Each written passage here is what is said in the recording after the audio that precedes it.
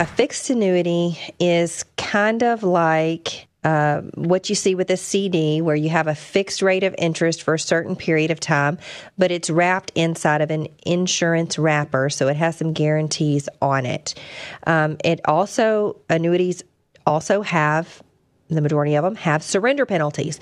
So you're kind of stuck inside of that product for a number of years while the insurance company um, recovers some of the big commission that it paid to the advisor that sold it to you.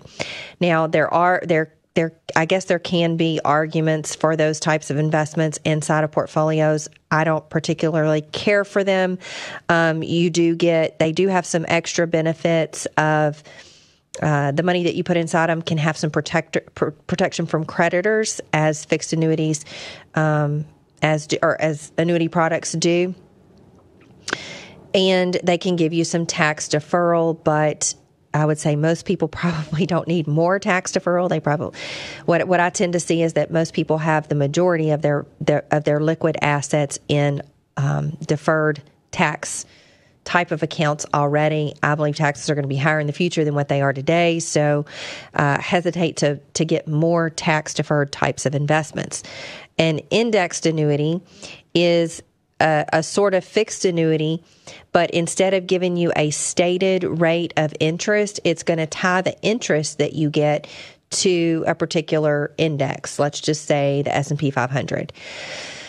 The problem with annuities is that they can be very complicated and very hard to understand. People tend to gravitate towards them because they can offer some quote unquote guarantees, but from my experience, most people who get into an annuity really never understand what those guarantees are and how they work. I suspect if they did understand how they work, what they cost, and what they actually protect you from, they would see less value in those particular products.